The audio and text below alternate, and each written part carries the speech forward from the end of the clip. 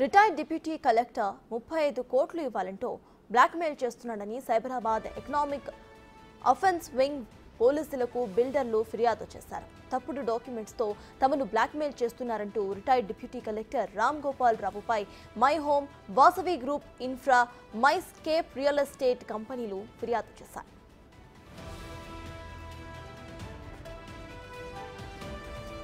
మదినాగూడలో రెండు ఎకరాల స్థలం తనదంటూ తప్పుడు డాక్యుమెంట్స్ తీసుకువచ్చి కబ్జా చేసే ప్రయత్నం చేసి ఇరవై ఐదు కోట్లు ఇవ్వాలని డిమాండ్ చేశాడని మై హోమ్ గ్రూప్ ప్రతినిధులు ఫిర్యాదు చేశారు.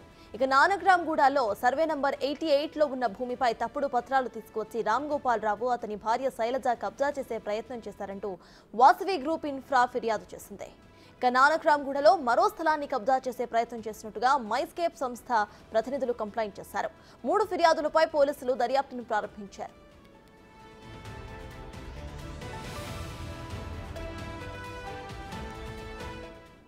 ఇక విషయంపై పూర్తి డీటెయిల్స్ మా ప్రతినిధి సురేష్ అందిస్తారు. సురేష్ చెప్పండి ఇటు రిటైర్డ్ డిప్యూటీ కలెక్టర్ చేస్తున్న బ్లాక్ మెయిల్ వివాదాన్ని మనం చూస్తున్నాము. అయితే ప్రజెంట్ అక్కడ అప్డేట్స్ ఏంటి?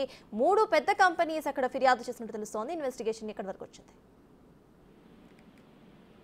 రామ్ గోపాల్ రావు అని చెప్పేసి మాజీ డిప్యూటీ కలెక్టర్ అయినటువంటి ఆయన ఆయన భార్య శైలజ ఇద్దరు కూడా కొన్ని స్థలాల తమవని చెప్పేసి కబ్జాకు ప్రయత్నం చేస్తూ తమను బ్లాక్మెయిల్ చేస్తున్నారని చెప్పేసి కూడా మూడు రియల్ ఎస్టేట్ నిర్మాణ రంగ సంస్థలైనటువంటి మై హోమ్ అదేవిధంగా వాసవి గ్రూప్కి సంబంధించి ఇన్ఫ్రా అదేవిధంగా మై మరొక మై మైస్కేప్ అని చెప్పేసి మూడు కంపెనీలు కూడా ఫిర్యాదు చేయడం జరిగింది. సైబరాబాద్ ఈఓడబ్ల్యూ ఎకనామిక్ వింగ్ పోలీసులకి ఫిర్యాదు చేశారు. ముప్పై ఐదు ఇరవై ఐదు కోట్ల వరకు డబ్బులు ఇవ్వాలని చెప్పేసి కూడా డిమాండ్ చేస్తున్నట్టు ఆ సంస్థలకు సంబంధించిన అధికారులు ఫిర్యాదు చేశారు. దీనిపైనే సైబరాబాద్ పోలీసులు కేసు నమోదు చేసి ప్రస్తుతం దర్యాప్తు చేస్తున్నారు.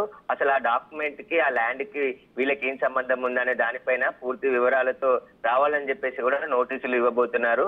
ఈ మాజీ డిప్యూటీ కలెక్టర్ రామ్ గోపాల్ రావు ఇప్పుడు మూడు చోట్ల కూడా నానక్రామ్గూడలో చాలా ఖరీదైన భూములకి తన దగ్గర డాక్యుమెంట్స్ ఉన్నాయి ల్యాండ్ నాది అని చెప్పేసి క్లెయిమ్ చేసుకునేందుకు ప్రయత్నిస్తూ లేని వివాదాలు సృష్టిస్తున్నాడని చెప్పేసి కూడా సైబరాబాద్ పోలీసులకి ఫిర్యాదు చేయడం జరిగింది. వాళ్ళ ఫిర్యాదు మేరకు పోలీసులు పలు సెక్షన్ల కింద కేసు నమోదు చేసి దర్యాప్తు ప్రారంభించారు. దీనికి సంబంధించి పూర్తి విచారణ జరుగుతుందని చెప్పేసి కూడా సైబరాబాద్ పోలీసులు చెప్తున్నారు.